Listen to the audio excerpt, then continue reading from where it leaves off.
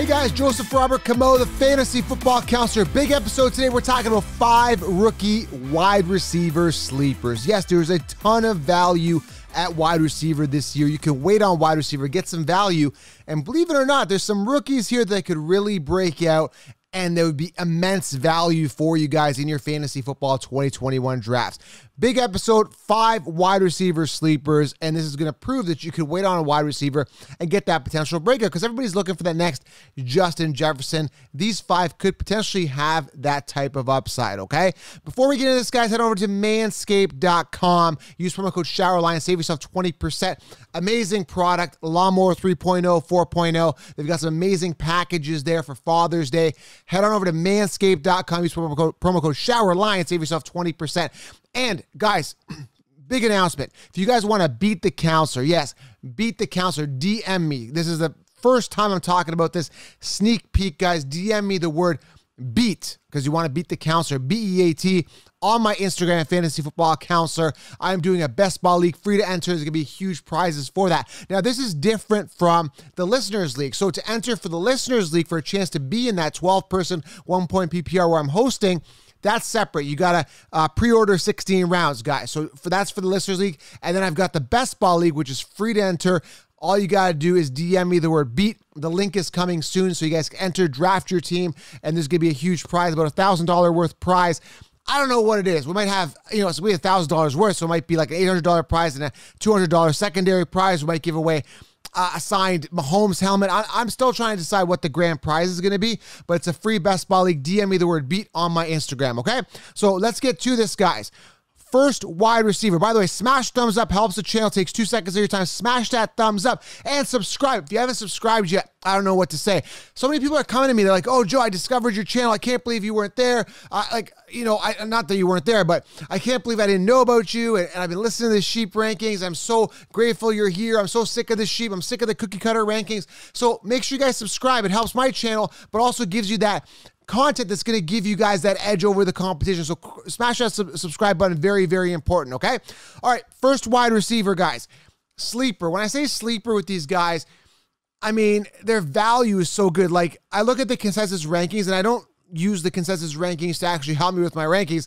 I use the consensus rankings because I can see all the mistakes, and that's when I'm able to capitalize and draft these guys for immense value. So the first guy is, I know it's a little more obvious here, but Ja'Marr Chase six foot, 201 pounds. First round pick, guys. He was a first round pick for the Cincinnati Bengals, fifth overall. The Bengals obviously believe in him. Joe Burrow's coming back off injury, young, dynamic talent. Could be an exciting offense here. He does have Boyd and Higgins to contend with. Higgins, I thought would have been a great sleeper, but they drafted Chase, so they're going to utilize him. Listen, this guy you can get literally as your wide receiver three, four on your team that has that wide receiver one upside. This is all predicated on Joe Burrow. Now, again, Joe Burrow, young dynamic coming off injury. We don't really know. He's shown some flashes that he can be good. So, and they have improved the O line. So I'm, I'm just looking at Ja'Marr Chase and saying, saying, why not? Why not grab him, right? He could be the one, could get the, a bunch of targets and it could be exciting. So Ja'Marr Chase, the first sleeper. Second one here is a little bit of a deeper sleeper here, currently sitting number 77 on the consensus rankings amongst wide receivers. Now, here's the deal. When I look at wide receivers, I look at opportunity, I look at the depth chart to see if there's anybody else there that's going to be a factor. Now, we last year I scoped out Justin Jefferson and I suggested he was an eighth round pick in the 16 round draft solution. Why did I do that? Because I saw the opportunity, I saw a void there, Diggs was gone. Jeff- Jefferson looked good in college, and this was an opportunity. So I'm looking at this situation and seeing there's an opportunity, but there's a ton of question marks due to the due to the young rookie quarterback. But the Jets, the Jets have zero wide receivers, right? They they, they have nobody there. Corey Davis. He wasn't the one, right? He was never a one. Crowder, Mims was drafted a year, year ago it didn't really do it, right? Now, if I look at Elijah Moore, is the next guy I'm talking about, which is number two here. He was a second round pick, drafted 34th overall. This is a guy out of Ole Miss that can get it done. Statistically, looked okay in 2020 with over a thousand yards, 1,193 yards, eight touchdowns. So there is some sort of traction there statistically, but what I'm looking for is the fact that he was a second round pick. He's drafted drafted with high draft capital and the upside is there, and there's no other wide receiver there. Again, I don't believe in uh, Corey Davis or any of the other guys there. And I could be wrong. It all depends on who the quarterback's going to gravitate to with the Jets. Rookie quarterback, we don't know. But I am looking at the situation. And again, literally, like there's no one else that's going to contend here. And the opportunity is there. So again, immense value. You get these guys later. You stash a bunch of these guys and you know you've gone robust RB, you've anchored your team with an ace quarterback, which we'll talk about in the 16 round draft solution, and you get some of these wide receivers for immense value later on that could have that upside to be a wide receiver two, wide receiver one upside on your team. Why not? You're getting them for absolutely free. Okay. The third fantasy football wide receiver rookie sleeper I've got here is uh, this is a, a little more obvious, but DeVonta Smith, round one pick, 10th overall. Uh, they've got Reagor and Fulgham there with the Eagles. Uh, Jalen Hurts is going to be in a quarterback competition with Flacco. I don't know how that's going to pan out, but it hurts. Hurts should be the starter. The problem is I don't trust Hurts, a running quarterback that hasn't really proven himself in the NFL. DeVonta Smith, obviously high draft capital. Eagles are going to use him. And the depth chart isn't hard to surpass. You're passing Reagor Fulgham uh, DeVonta Smith is special talent, right? So you look at DeVonta Smith, you look at Jalen Hurts, you look at a situation where, you know, we don't know. Like Jalen Hurts is not proven in the NFL. Now in college they looked great, but how are they going to look together in the NFL? That's a big question mark. Again, Jalen Hurts, I'm not really sold on him, but there's an opportunity there. But Eagles, always a question mark. But DeVonta Smith, definitely a sleeper, a guy that again you can get for value. You know, in your drafts that has that wide receiver one upside, okay? But it's all predicated on this connection here in the NFL, particularly.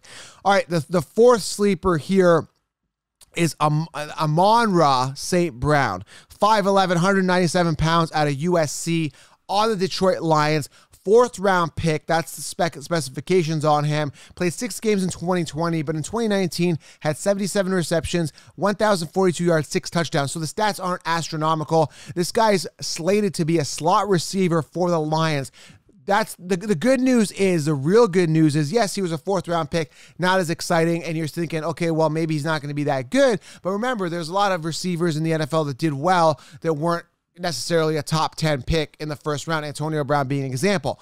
So you look at a guy that's fourth round, Amon-Ra St. Brown. Listen, the Lions have no receiver. Goff has got to throw to somebody, right? Who's he going to throw to? Is it going to be Amendola, Perriman? I'm not sold on that. Now, I do love TJ Hockenson this year because he's pretty much the only receiver, but I mean, there's a huge opportunity for Amon Amon-Ra St. Brown. Hopefully, I'm pronouncing it right. But this guy, I mean, he is in a situation where he would absolutely crush it based on volume opportunity. And we got to see what the talent is there and that connection with him and Goff. I don't know. That that's the big question mark here. And that's going to predicate how this is all going to work. But Detroit Lions, an opportunity. There's no other wide receiver there. St. Brown, take a look at him. Super value. Currently sitting 87th on the Concheapsis rankings. Nobody's talking about this guy. I might stash him. Opportunity right there. Okay. So we talked about Ja'Marr Chase, Elijah Moore. Uh, we talked about DeVonta Smith all being in great opportunities. We talked about Amon-Ra St. Brown. Next guy I want to talk about, the last guy is Jaylen Waddle with the Miami Dolphins. A lot of this is predicated yet again on Tua. Am I sold on Tua? I think I like Tua a little bit more than Hurts. Like the opportunity there. Jaylen Waddle, first round pick in the NFL draft, sixth overall. They've got Fuller, they've got Parker, they've got other guys there to contend with. Is that going to be an issue? It all depends on who Tua gravitates to, which probably could be Waddle. The talent is there. I'm just not sold, particularly on the Dolphins producing high end top fantasy football producers. That's why I'm staying away from their running back situations. A slew of a committee. I'm not sold on. Tua can run the ball himself as well. So Jaylen Waddle, again, based on draft capital situation and possible rapport here with Tua in the NFL, I'm looking at the situation saying, hey, there could be an opportunity here for a guy you get for huge value on your fantasy football roster and you don't have to pay much there. But I'm telling you, from these five, all five could go off, one could go off, two could go off. We don't know. But I'm telling you, one, at least one or two of these guys is going to be a name that's going to be talked about this season on an extensive level, whether it be fantasy and reality. I'm telling you, there's a huge opportunity for St. Brown, Elijah Moore. These guys have a little little barrier of depth chart. Like they're, they're, the guys above him, we're not talking Julio Jones. Now, Julio Jones, the time of this recording, still hasn't landed on a team. There's a chance he could be traded. That's going to vary a couple of these these guys. If he ends up on the Dolphins, obviously it's going to affect Waddle. If he ends up on the Eagles, wherever he ends up on any of these teams, obviously it's going to take away a ton of volume from these guys. But based on the situation now, it looks good for these guys. Secure them on your roster for absolutely free with some potential wide receiver one upside there for fantasy and reality. Beyond excited here, guys. Wide receivers are where it's at. There's five solid names for you that could be the next Jefferson of next year, where people are going to be drafting them top 15, top 10. This could be it. Now, there is other guys, Tutu Atwell from the Rams. There's a bunch of other names I could mention, but these are five that really stuck out to me that could be good value and have that nice ceiling for you. Okay. Subscribe, leave a thumbs up. Make sure you guys do get the 16 round draft solution, help support the channel, and gives you guys all of the answers all in one spot to help you draft that optimal roster. First ever and only video training. Manscaped.com. Use promo code Shower Lion. And I am out. Thank you guys for being here. I appreciate you. Click subscribe. I'm out.